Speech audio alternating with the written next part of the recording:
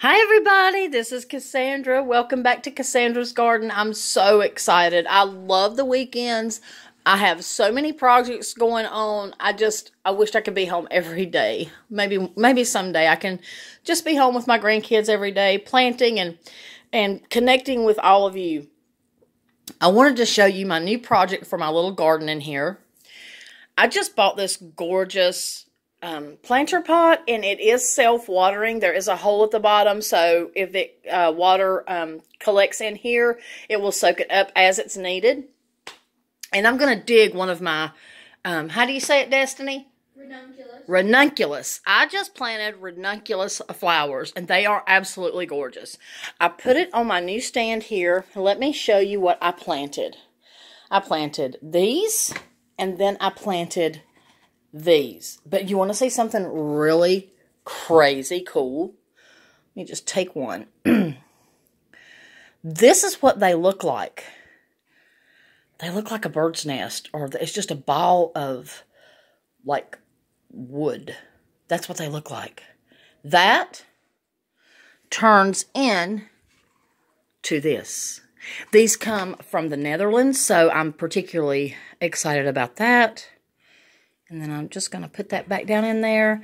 And I'm going to put some plant food in here. And then I'm going to put some water in here. And then I'm going to watch the magic. Let me dig that just a little bit deeper. Make sure that I did place it right. Yes. You take the bottom and you place it downward. And then you cover it up. There we go. I cannot wait until these bloom. I planted nine bulbs. Six were in here, three were in here. And I couldn't have picked a better pot. I just think it's so beautiful. It looks like a mermaid's tail. But I'm going to water, put a little water in the soil. I'm going to put some plant food in it. And I'm going to watch the magic and I'm going to keep you updated. I cannot wait until all my flowers are in here blooming, just looking beautiful and just magical, like an enchanted garden right in my own living room, and just so beautiful for all of you to see.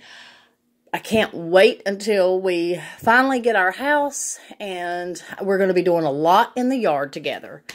I hope you enjoyed this, and I cannot wait to give you more information also on how to properly care for these. You are going to be amazed. They are so beautiful. They've got such a beautiful, rich history to them. I, I love all these bulbs that I've got from the Netherlands. That's where you that's the best place to get the bulbs. They know what they're doing there. They're geniuses when it comes to planting rows and rows and rows of tulips and other flowers and and they're just they're wonderful farmers there. I've learned a lot from them and I can't wait to show all of you. Until next time. Blessings, love and light.